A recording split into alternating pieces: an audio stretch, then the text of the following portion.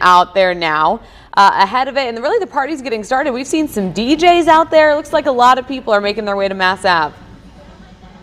That's right, Sierra and Zach. We've been dancing out here since you last checked in with us. The DJ is now here, so the music is popping. We're having a great time here, and I want to introduce you to my friend Bryan, who is helping make all of this happen. Bryan, how are we doing? I'm doing very well. It's an exciting day. I'm full of energy, and I am just so glad uh, that we were able to put this on with such smoothness. Uh, it is just really just fantastic fantastic. Just a fantastic day for it. And you help with all of the volunteers. Yeah. Tell me how many volunteers it takes to put this on and what the process is all like. It takes over 200 to 400 plus volunteers to put all this on among 26 events during the Pride season of the month of June.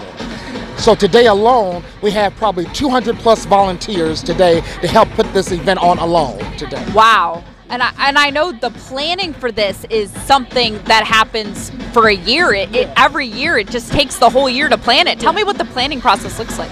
The planning process starts soon after the current season's uh, festival and parade ends. So we're already in planning mode already, and it ramps up in July. But the planning takes almost a good year out from the date to put everything together.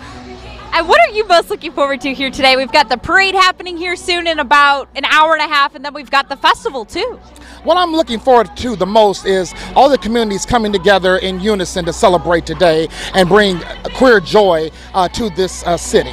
So that's what I'm most looking forward to is the community engagement and the community impact and the positivity that comes with this. And finally, for you, for people who aren't planning to come out here but maybe are interested, what would your advice be to get them out here?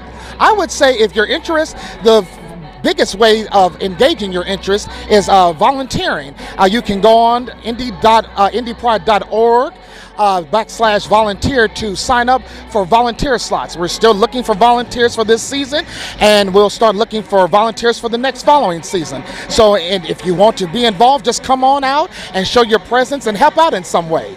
Bryan, thank you so much. We're going to continue dancing out here. And again, you can come out, volunteer, watch, or even be in the parade. We've spoken to a few people who are already in the parade, and the energy here is fantastic. I also got a little distracted because I saw cotton candy down there.